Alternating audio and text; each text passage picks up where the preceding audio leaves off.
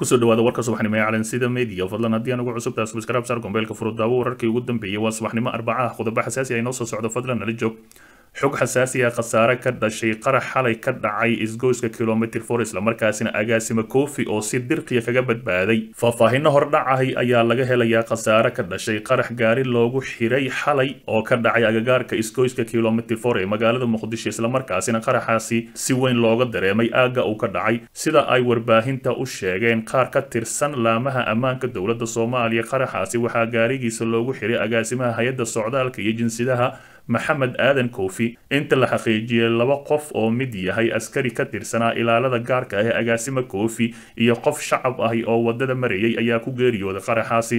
Sidoo kale waxaa jira dhaawacyo kale oo ka dhashay qaraxa inkastoo aan weli tiradooda rasmiga si toosa loo soo shaacin maadaama wararkaani si hordhacay loo helay. Qaraxa xalay dhacay fiidkii ilaa tobanka habeennimo. Qaraxa waxaa ka badbaaday agaasimaha hay'adda socdaalka iyo jinsiyadaha maxamed aadan kofi oo gaarigiisa loogu xiray sida wararku ay sheegayaan qaraxa ayaa si gaara uga dhacay waddada ka baxda isgoyska kilomitr for ee aada dhanka garoonka diyaaradaha aadan cadi magaalada muqdisho.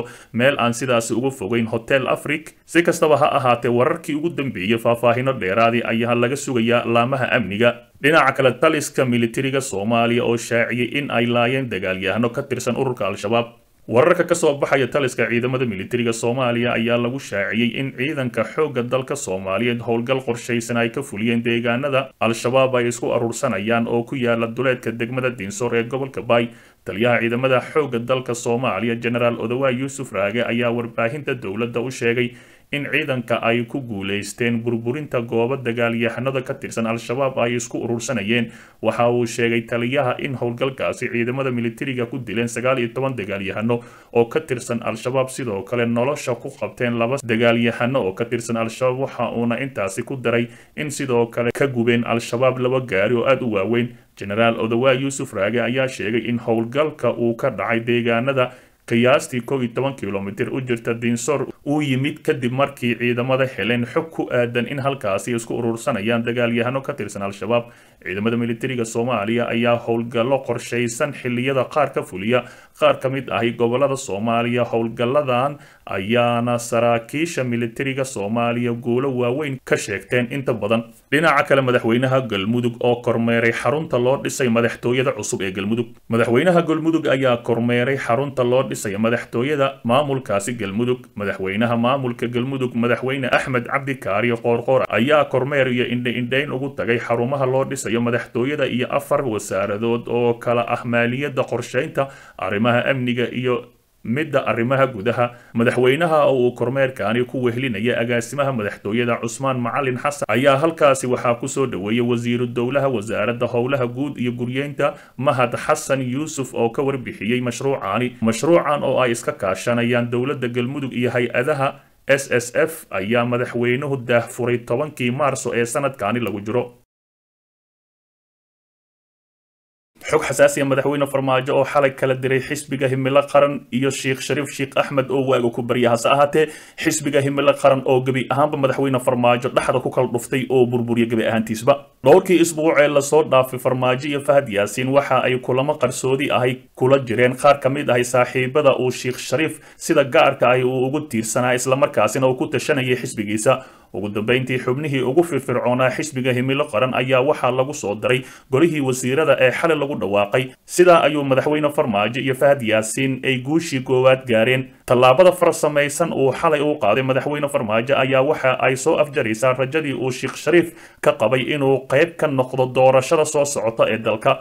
Waxaa kale oo burbur ku yimid madasha xisbiyada qaran gaar ahaan xisbiga himilo qaran. Uu hogaamiyo sheekh shariif sheekh axmed madasha iyo himilo qaran waa lagu kala tagay laba sano oo qaylo dhaan ahi meel waa nagey waayse. Waxaan ku qasbanaanay in aan qaraabano sidaa waxaa yidhi mid ka mid ahi raggii hoggaanka u hayay madaxda xisbiyada qaran gaar ahaan himilo qaran waxa uu ku daray wasiiradii xalay laga magacaabay himilo qaran waa raggii farmaajo horay ula soo shaqayn jiray saaxiibadana la ahaa madaxweyne farmaajo laakiin hadda xiriirkii dib ula soo celiyey la heshiiyey madaxweyne farmaajo. Dhanka kale waxaa jira warar sheegaya in sheekh shariif sheekh axmed laftiisa uu wada hadal kula jiro. Farmaajo lagana yaabo in uu u tanaasulo farmaajo kana haro doorashada. Sheekh shariif ayaa waxaa la soo daristay dhaqaale xumi baahsan oo keentay inuu dalka ka baxo. Si kastaba ha ahaatee dhowrkii isbuuc ee u dambeysay. Sheekh shariif sheekh axmed ayaa saaxadda siyaasadda laga waayay islamarkaasina gebi ahaantiisaba muuqaalkiisa ayaa la waayey xisbiga himilo qaran ayaa waxaa u dambeysay inay kulmaan ama ay shiraan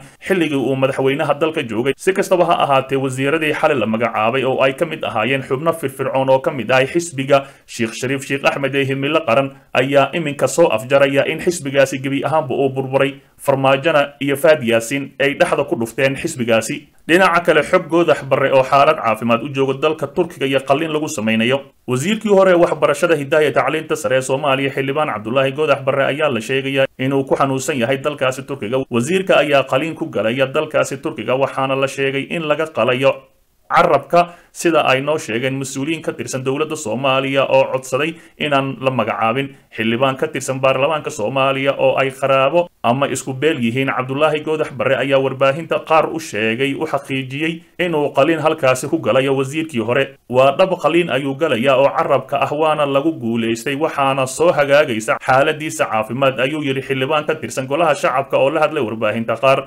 Cabdulaahi goodax barre oo ka tirsanaa xukuumaddii ra'iisul wasaare xasan cali kheyre ayaa xalay ka soo muuqanin liiskii golaha cusub ee wasiirada ra'iisul wasaare roble ma cadda haddii sababta uu xilka ku waayey ay tahay sababo caafimaad iyo in qof kale laga door biday waxaase xusid mudan inuu ka mid ahaa wasiirada aadka ugu dhow madaxweyne farmaajo. Dhinaca kale fila soomaaliya oo ka shaqaynaysa qorshihii hiiraan lagu dhaafin lahaa xilka madaxweynaha hirshabelle. Madaxtooyada soomaaliya ayaa dadaal badan u gashay sidii isbeddel dhinaca maamulka ah ugu dhici lahaa hirshabelle waxaana hadda muuqata mid hirgalaya qorshihii muddada ka shaqaynaysay fila soomaaliya. Waxaa hadda socda abaabulka dhismaha maamulka hirshabelle waxaana magaalada jowhar gaaray qaar ka mid ahay odayaashii soo xuli lahaa xildhibaanada ka mid noqonaya baarlamaanka labaad ee madaxtooyada soomaaliya ayaa wakhti gelisay sidii xilka madaxweynaha hirshabelle loogu wareejin lahaa beesha xawaadle oo afartii sano ee la soo dhaafay haysatay. Waxa ayna madaxtooyada hadda la doonaysaa xilkaasi beesha abgaal gaar ahaan cali guudlaabe siyaasiyiinta xawaadle ayaa laba dhinac loo kala jibiyey si uu u hirgelo qorshaha fila soomaaliya waxaana madaxtooyada lagu casumay laguna qanciyey yuusuf dabageed iyo cabdifitaax xasan afrax oo ka mid ahaa xubnaha ugu saamaynta badan beesha xawaadle qaarkood. Labadan siyaasi ayaa loo sameeyey ballanqaadyo kala duwan si ay uga shaqeeyaan hirgelinta qorshaha filla soomaaliya waxaana labadan midkood loo ballan qaaday madaxweyne ku-xigeenka halka mid kalena xilal kale iyo dhaqaale loo ballan qaaday. Madaxtooyada soomaaliya ayaa sidoo kale ka shaqaysay in nin ka soo jeeda beesha xawaadle laga dhigo wasiirka arrimaha gudaha soomaaliya. Xalay ayaana lagu dhawaaqay si uu uga shaqeeyo dhismaha hirshabelle gaar ahaan howsha uu maamulo sida ay rabto madaxtooyada. Waxaa hadda muuqanaysa in uu hirgalayo qorshihii filla soomaaliya isbeddelka uga dhalinaysay maamulka hirshabelle si maamulkaasi loogu dhiibo xubno ku shaqaynaya afkaarta madaxweyne farmaajo